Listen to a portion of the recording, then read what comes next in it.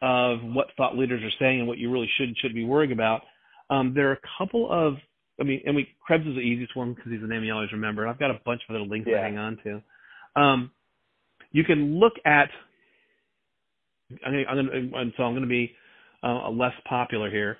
Um, after years and years at working cutting edge, um, uh, Gartner is not your thought leader. Gartner tells you exactly what was important last year. Um, mm. Gartner's not. They're they're they're always trailing. Um, the people who are actually getting it done um, and, and, are in the fire. Um, now, um, so how do we consume it? Um, blogs, uh, some blogs, not a lot.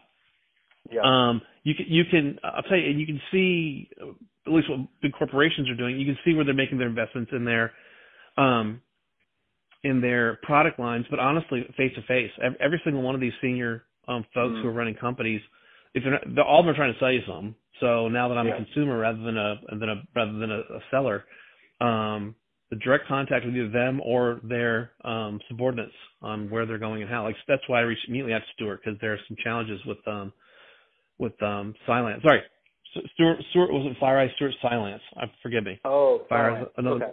Sorry. Okay. Um, FireEye yeah. is another one of our one of the products, and I, I think I know him too. Uh, he, uh, he, he was um, Mandiant. It, it, it, I, I've met him, but I don't know him. I, I'll be able to differ, but I do know it's Kevin Mandia, and um, okay he Mandiant and FireEye actually joined forces a couple of years ago. Um, so sorry about that. I don't want to misrepresent. Oh no, no, all good. My my my. No, my, my Captain Big Pants. Um, yeah. So, but it, direct, direct communication with with these these folks as well. Uh, what do you okay. think is important and why? Um, okay. Yeah.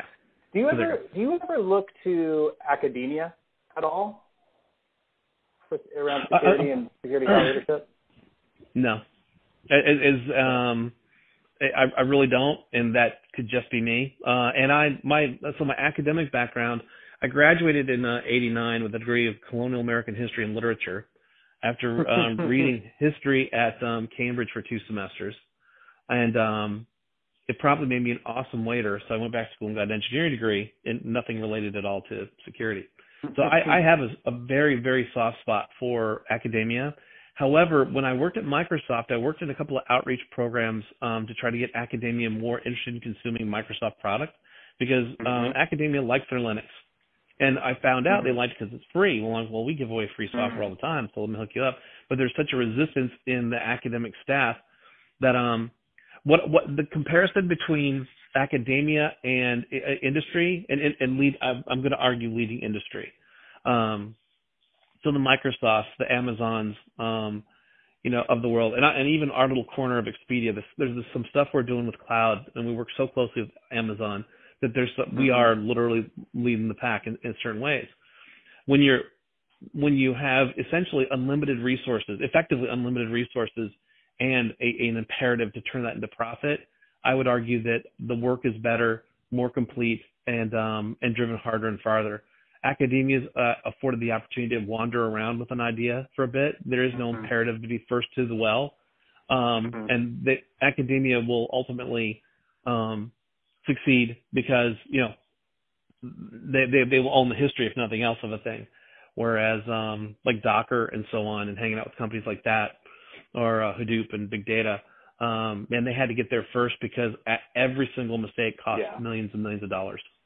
And yeah. so, um, yeah. Yeah. No, that makes sense. Hey, you brought up an interesting point. You, you were saying that academics love their free stuff. It just made me think about open source. And something we've heard in some yeah. of the other view, interviews is that people like thought leaders to be open with what they're doing. Perhaps, you know, that it's part they contribute to open source projects sometimes, but also that there's this sort of can be an openness or transparency in what they're doing. Is that important to you around thought leadership? Um, open source is not open is open to have the conversation.